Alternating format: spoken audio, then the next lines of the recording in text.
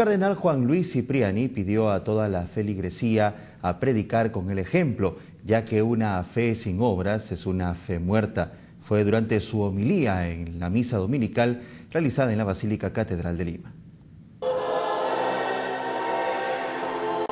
El cardenal Juan Luis Cipriani, arzobispo de Lima y primado del Perú, animó a los fieles a vivir la fe, predicando con el ejemplo. Estas exhortaciones las realizó durante la Santa Misa que presidió en la Basílica Catedral de Lima. ¿Cómo entusiasma cuando uno ve el buen ejemplo? ¿Y cómo desanima cuando uno va y ve el mal ejemplo?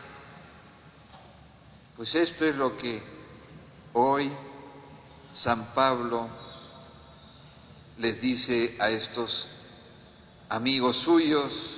En tal sentido, instó a los fieles a ser defensores de la verdad.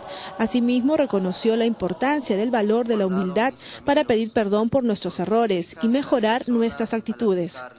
No, dice el Señor, no te dejes llamar maestro porque uno solo es tu maestro, todos somos hermanos.